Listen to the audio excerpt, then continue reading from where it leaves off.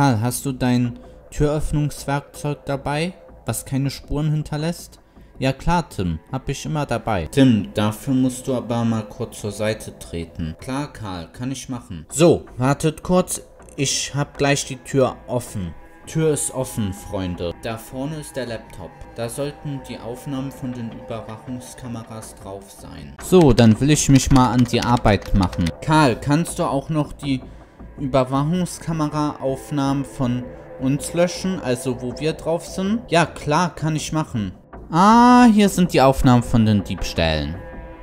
Dann werde ich die mal auf mein Handy übertragen. Karl, mach aber schnell. Gabi, du weißt doch, ich bin Experte. Danke, Chef, dass du uns zu einer leckeren Pizza eingeladen hast. Ja, natürlich.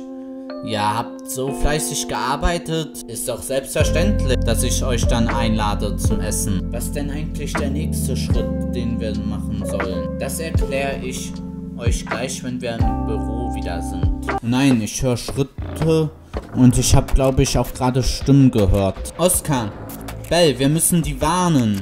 Chef, ich könnte schwören, dass ich ein Hundebellen gerade gehört habe. Ach, da bildest du dir mal wieder was ein. Naja, wir sind gleich oben und dann wirst du ja sehen, ob da ein Hund ist. Aber was mache ich denn jetzt?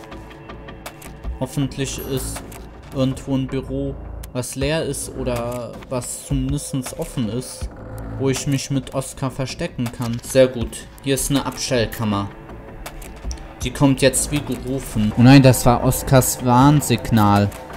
Das heißt, es kommen Leute. Tim, was machen wir jetzt? Keine Panik auf der Titanic. Ich habe eine Idee. Ein Glück ist Klößchen nicht da, weil dem würde die Idee nämlich nicht gefallen. Was hast du vor, Tim? Aus dem Fenster klettern? Nein, das nicht, Karl, aber so ähnlich.